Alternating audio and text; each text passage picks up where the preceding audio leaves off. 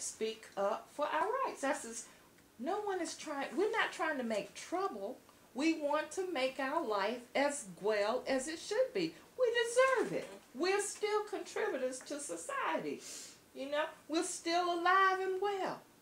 Ask the politicians and ask all these corporations that come and sell their stuff. Where do they go? Who buys it? Do they have our daughters here to sign for us when, when we buy something from them? Look at how Paul gave that car. However that went. Paul told me he gave the car to Karen or whatever. However then she he got gets it. kicked out.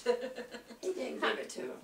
I, I know She she, had just- to pay She just took over payments. payments, but it she he made it easy for her to do it. She could. Well, she, no, she, she, I, the- She's the lady that signed for her, she Oh. calls me all the time and, and she, Karen tried to get a couple of people here in the towers to sign with her and they wouldn't let them.